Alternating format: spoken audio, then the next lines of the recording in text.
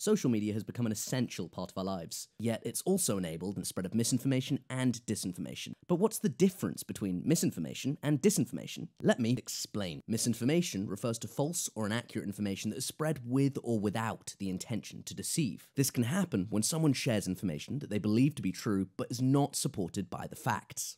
Disinformation is false or inaccurate information that is spread intentionally. And this can happen when someone creates and shares false information with the intent to mislead others. Misinfo and disinfo are different, but they can both impact individuals, society, and democracy. So, how do you spot them? Check experts' credentials. Check if someone's posting divisive content just to make people angry. Check if someone's sharing conspiracies. And don't engage with online trolls. But most importantly, demand that social media companies stop enabling the spread of misinfo and disinfo.